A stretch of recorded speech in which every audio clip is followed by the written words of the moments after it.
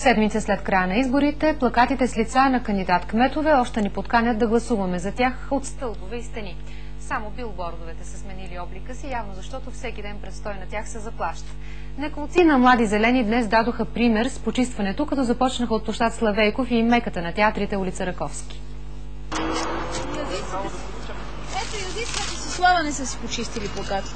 Кой? Азис и Десислава. Е, и той беше кандидат, но за депутат и то преди две години и половина. Видяхме и един кандидат за президент, който за последно се състезава през 2001. Явно, че след големите обещания, политиците разчитат на останалите пустени стълбове плакати да ни напомнят за тях и благите им думи по време на кампания.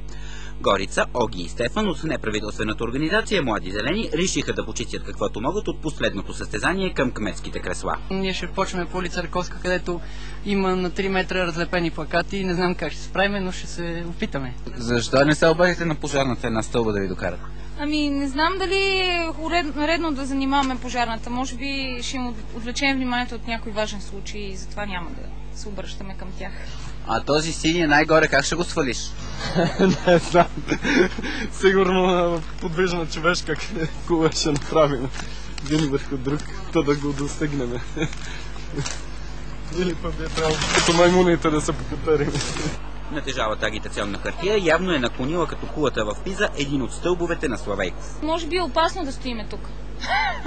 Може би трябва да бягаме.